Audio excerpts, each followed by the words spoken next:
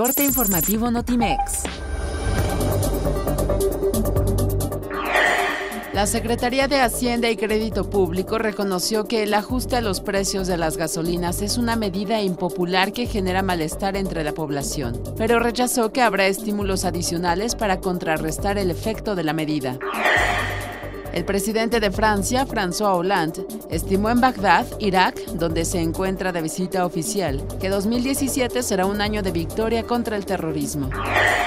En enero de 2017, las tarifas eléctricas para los clientes domésticos de bajo consumo no se elevarán. Se mantendrán sin cambio respecto al mes previo, aún con el aumento en los precios de los combustibles que se usan para generar energía eléctrica, informó la Comisión Federal de Electricidad. El estratega español Pep Guardiola, director técnico del conjunto de Manchester City, aseveró que su carrera se encuentra en su última etapa, ya que asegura no tener contemplado seguir dirigiendo cuando sea una persona de mayor edad.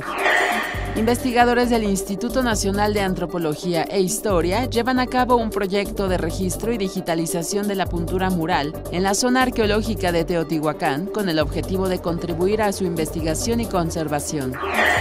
Los mexicanos Diego Luna y Gael García Bernal serán las cartas fuertes de México en la próxima entrega de los Globos de Oro de la Asociación de Prensa Extranjera de Hollywood. Paleontólogos consideran que la desaparición de la megafauna, que existía hace más de 10.000 años en la zona que comprende México, se debió al cambio climático, enfermedades, impacto de asteroides y la llegada de grupos humanos provenientes de Eurasia. Notimex, Comunicación Global.